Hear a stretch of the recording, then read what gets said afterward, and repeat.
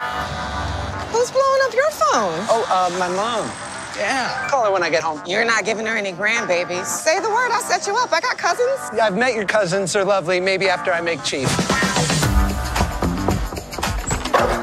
Hey, Scotty. This is Hooch. There's food, Elise, some toys. This one's his favorite, Mr. Horsey. What are you talking about? Did mom call you?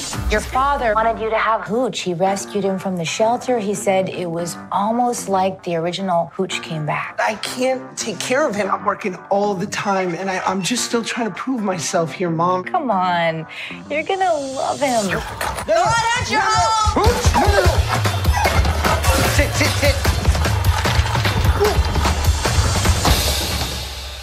You're gonna be fine. Laura, I'm late for work.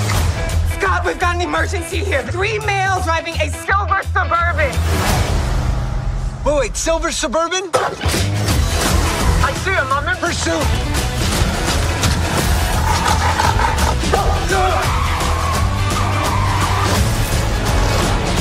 Oh,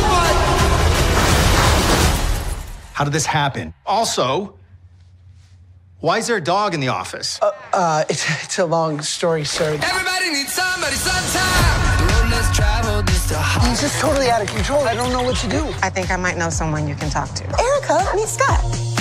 Hi, I. I'll let you two chat.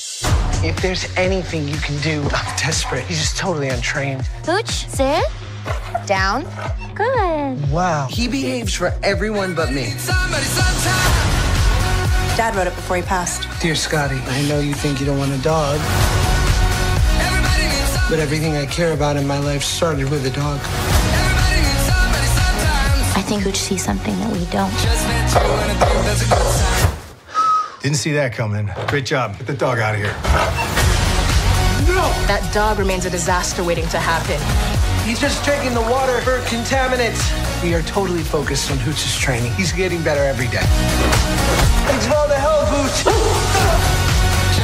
I think that's a good sign. I'm so sorry. Is he yours? Uh, yeah, unfortunately. Everybody needs somebody sometime.